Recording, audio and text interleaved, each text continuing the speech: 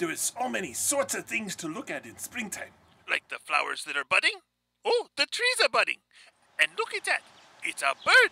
Oh, it could be a robin. Ah, Ooh, look at this. Aha. I think it is an egg. I don't believe it is an Easter egg. No, too small. Ah. I think it is a. Well, take a look. Ooh, look at that. A robin's egg. Oh, yes, I believe that is what it is. A robin's egg. And if so, that means there's a robin's nest somewhere up high above this. Um, oh, yes, I think we have found it.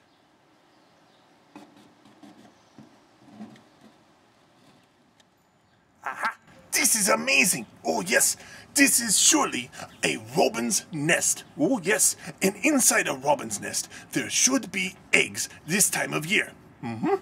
Because this is the time of year that birds are laying eggs and they have all summer to grow and get bigger and then in the fall fly away. Oh, to get away from the snow, you know. Oh, yes.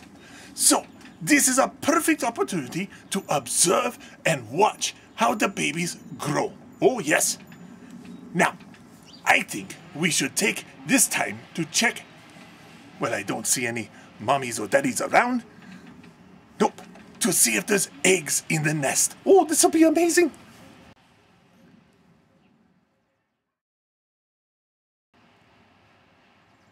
Aha. Now that we know there's eggs in the nest, let us set up so we can observe them for the next few weeks and see how the babies grow. Oh, this will be amazing. Oh, yes. Aha.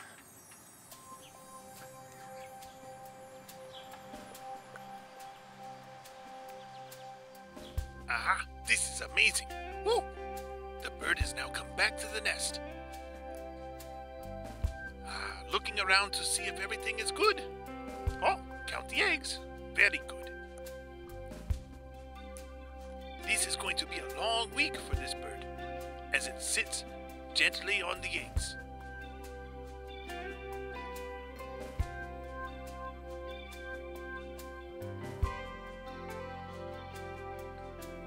Bird will fly away and move around just so.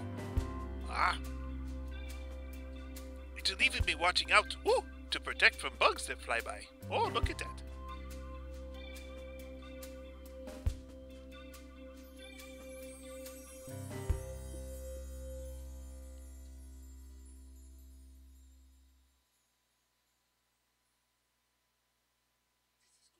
This is going to be an exciting spring. Ooh, I can tell.